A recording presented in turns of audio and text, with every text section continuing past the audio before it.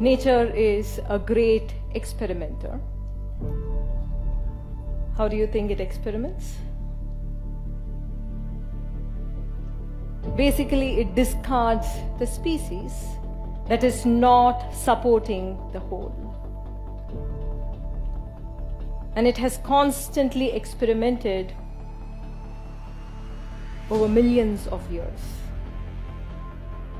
It has discarded the dinosaurs, it has discarded probably the saber-toothed tigers, it has discarded Ramapithecus, it has discarded the Neanderthals. A few of these species have survived for 200,000 years.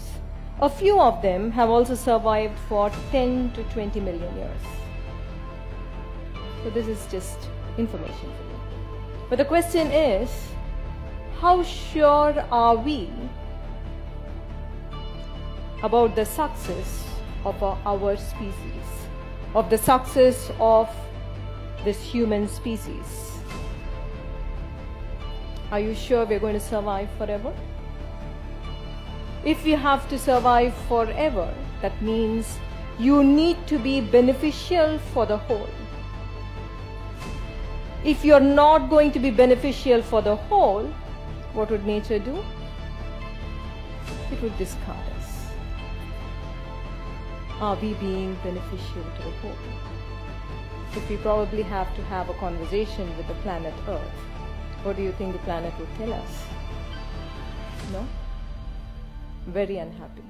We are probably more damaging than the smallpox virus, which doesn't exist now. Yes?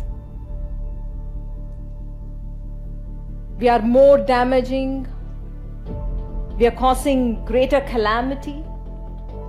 We are being cruel to this planet of ours. If you look at any other species, every other species kills somebody else or kills another species only for its own survival, only when it is threatened or when it is very hungry. But we as a human species, we have not evolved. But we as a species kill another species, not for our own survival, but to prove our superiority over the other, to prove our dominance over this entire planet, or sometimes even for pleasure. There is a huge noise outside in the world about the virus, the coronavirus. What if this coronavirus is nature's way of eliminating the human virus? There is a huge possibility, right? We are not being beneficial to the whole. If we are not being beneficial to the whole, we have seen again and again that nature discards us. In the current situation, China is not the problem. The Chinese people are not the problem. What is the problem? The problem is our own consciousness. We are living and experiencing life in separation. We are living and experiencing life as though we are separate from everybody around us. And this separation driven consciousness has its own repercussions. And we see it in the world. We see it in the world as cancer. We see it in the world as disaster, as natural calamity, or as the coronavirus. It is time to awaken now.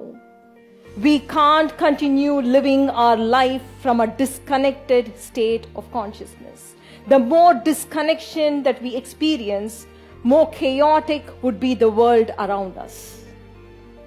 If we are truly looking for a more peaceful world, if we are truly looking for a more joyful world, if we intend to create a beautiful world for our children, for our grandchildren, then the transformation has to happen now and here. It is already too late.